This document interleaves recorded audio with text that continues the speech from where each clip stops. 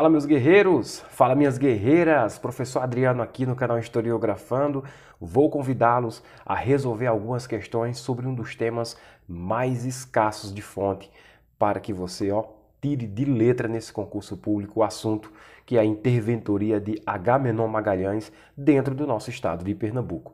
Então se inscreve, deixa aquele joinha positivo, Compartilha também esse vídeo nas redes sociais diversas que vocês se fazem presente. Ficou com alguma dúvida? Comenta aqui que sempre alguém vai estar vendo suas dúvidas e podendo interagir, trocando assim uma ideia sobre esse conteúdo. Beleza? Tranquilo? Caso vocês queiram estudar a nossa plataforma exclusiva do professor Adriano, Polícia Militar do Estado de Pernambuco, eu estou com uma vaguinha nesse exato momento por um preço promocional. É só você entrar em contato com o zap do professor que está aparecendo bem aqui. Beleza? Então vamos lá deixar de conversa, vamos para a tela, vamos resolver, vamos gabaritar. Vem Aqui na tela com vocês, vamos resolver a nossa primeira questão desse momento, gente. Olha só.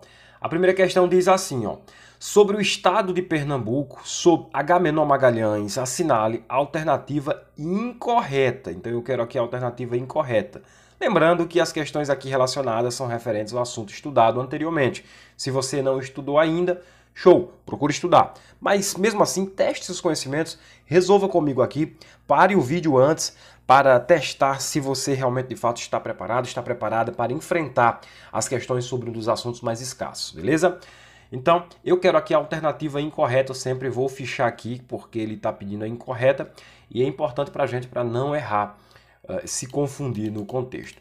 A letra A diz assim, ó, a forma de mobilização contestação e efervescência de ideias passou necessariamente pelo Estado e permitiu acelerar as contradições da República Velha. Não tem erro nenhum aqui. Isso aqui está corretão, viu?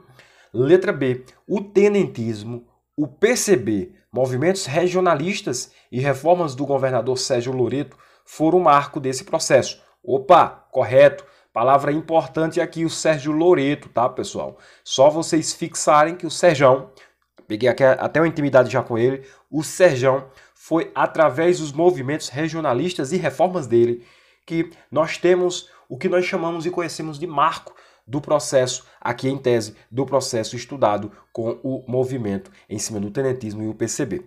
Letra C. Na década de 1920, uma mobilização importante na história do estado de Pernambuco esteve diretamente relacionada à tentativa de intervenção pelo então presidente da República, o Epitácio Pessoa. Corretíssima, gente. Olha só, na década de 1920, houve uma mobilização importante na história do nosso estado de Pernambuco. Ou seja, as pessoas foram para a rua lutar contra o que, professor? Contra a tentativa de intervenção pelo então presidente da República naquele momento, Epitácio Pessoa. Então veja só aqui, tá, pessoal, que houve já uma tentativa antes mesmo de chegarmos ao período da interventoria de Agamenon Magalhães no nosso estado de Pernambuco. E a galera foi sim às ruas. Nota aí no teu material. Letra D. A intervenção do juiz Sérgio Loreto permitirá um amplo desenvolvimento urbano e de investimentos para Pernambuco, abrindo avenidas, reformando portos, criando departamentos públicos e sendo flexível com as manifestações sindicais e operárias. Opa, opa, flexibilidade não existiu aqui dentro desse momento, quando nós falamos da, inter, da intervenção de Sérgio Loreto. Então, aqui é o meu gabarito porque eu estou querendo saber qual é o quesito errado. E para isso aqui ficar correto, você vai tirar aqui, ó, nada de flexível. Ou seja, nós tivemos ao, o contrário disso aqui. Nós tivemos uma repressão. Foi um momento repressivo. Repressivo. Tá certo? Corrigir para você aqui o quesito D, que é o gabarito dessa minha questão.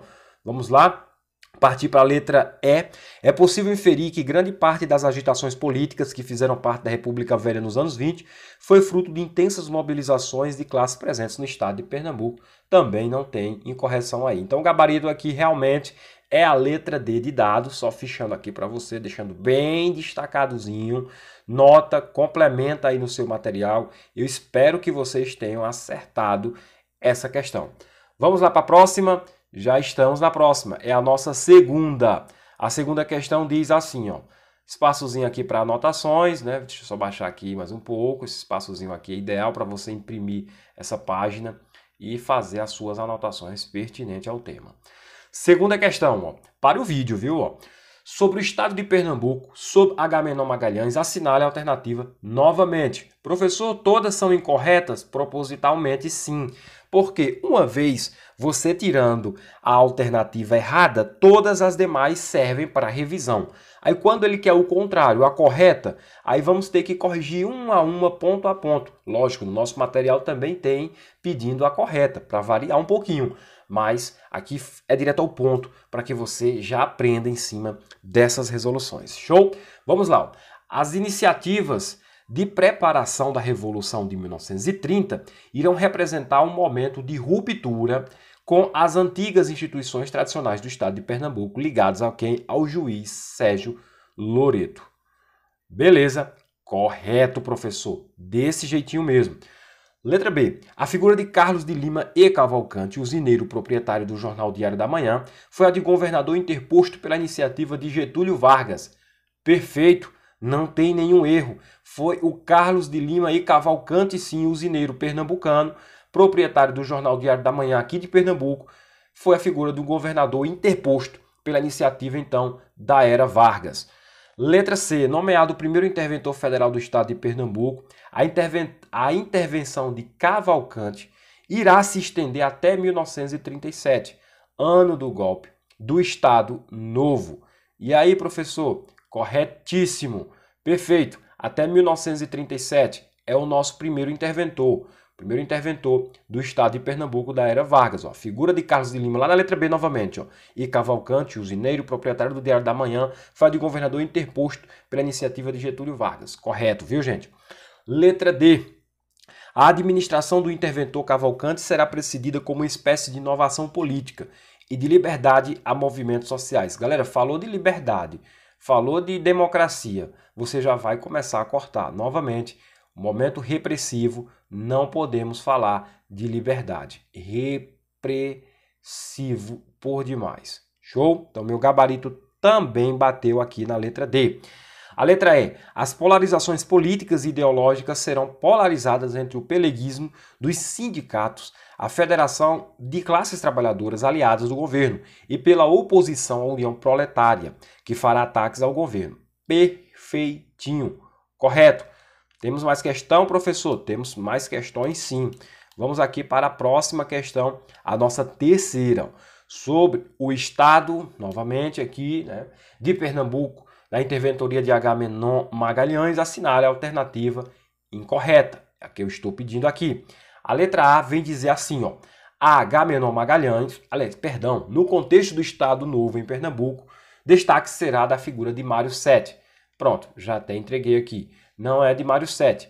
O destaque aqui será do então H menor Magalhães. Ó. Tá aqui H menor Magalhães na letra B, aqui na letra C.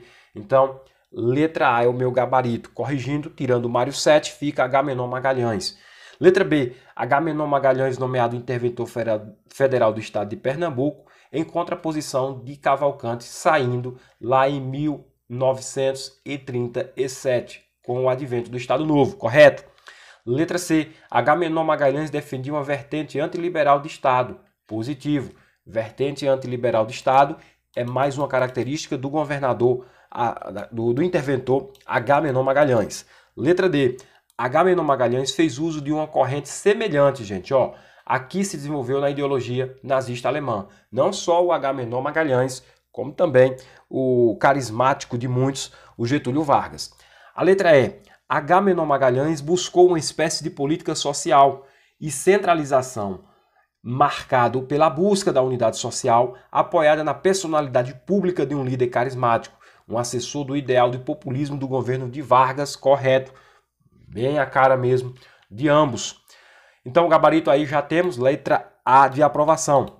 Quarta questão, sob Agamenon Magalhães, assinale também a incorreção. Quero que é errado. Letra A. Uma das características do H menon, aqui na letra A está dizendo o seguinte, ó. Preste atenção, vamos lá, vamos bater, ó. Tradicionalista e autoritário, correto. Manipulador da imagem, correto. centralizador marcado pela busca da unidade social. Acabamos de ver até no item E ali da questão anterior.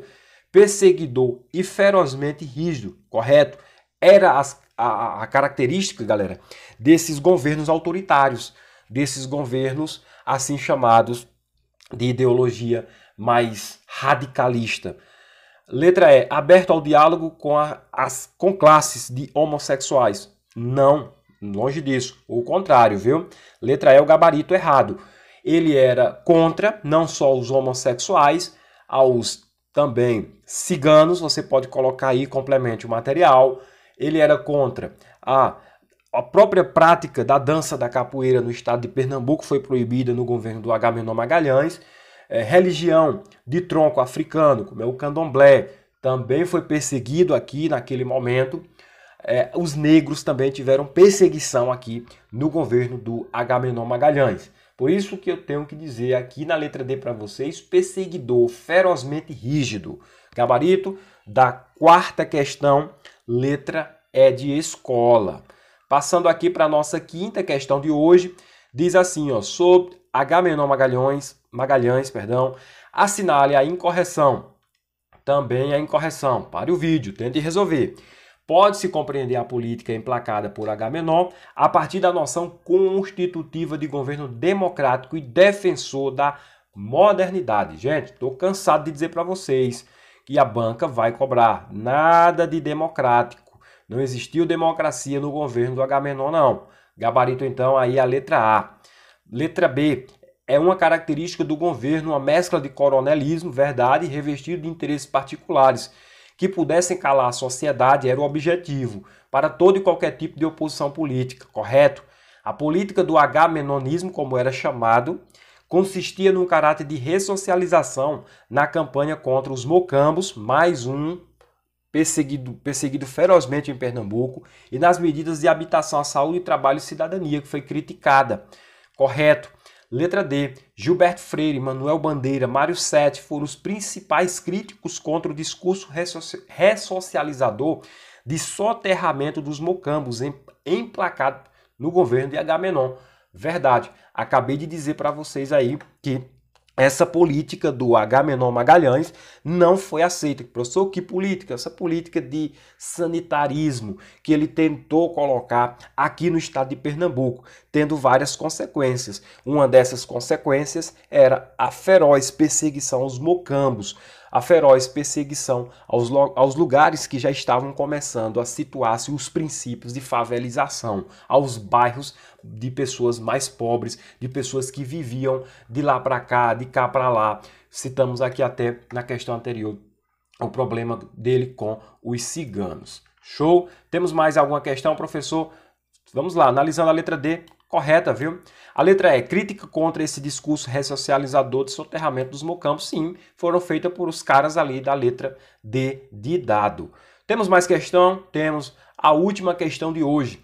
É a questão de número 6. So Agamenon Magalhães assinale a alternativa ó, incorreta também, ó, incorretinha.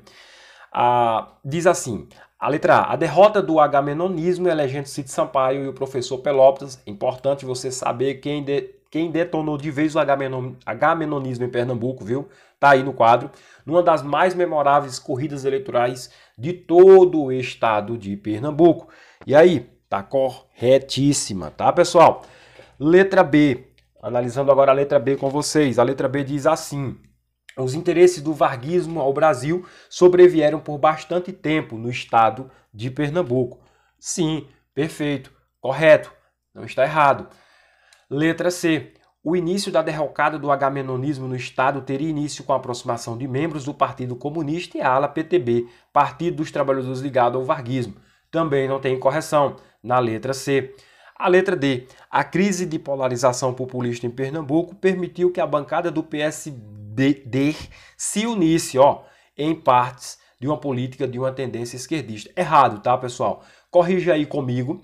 A minha caneta desativou aqui. Vamos corrigir isso. Retira a unice, nada de união, mas sim se afastasse em partes da política de uma tendência. Então você vai tirar unice aqui, deixa eu só dar um x aqui em cima, ó. Tira unice e coloca aí se afastasse em partes de uma política de uma tendência esquerdista. Então, meu gabarito aqui é a letra D de dado. Isso aqui está errado por conta da união ali. Letra E, quando Agamenon deixou o cargo de interventor, em virtude da eclosão da Segunda Guerra Mundial, deixou um importante legado político, a consolidação da máquina política do PSD, o Partido Social Democrático, composto por antigos membros e funcionários do Estado. Corretíssimo. Vem cá para a tela comigo. E aí, galera, gostou da pegada dos estudos? Acertou as questões? Gabaritou? Não se preocupa. Se você não gabaritou, não tem o que se preocupar. Se você gabaritou, show de bola, cara. Você está preparado, você está preparada para enfrentar esse assunto pau a pau com a banca. Mas se você não gabaritou, é como eu disse para você no início do vídeo. Vem estudar com a gente que nós estamos com um preparatório fixo para vocês, com videoaulas, mais 52 questões no nosso aplicativo, e fora que ainda você tem tira dúvidas com o, com o professor Adriano, tá bom? É só você me chamar no zap que está aparecendo aqui. Força Guerreiros, até o nosso próximo encontro. Valeu, galera!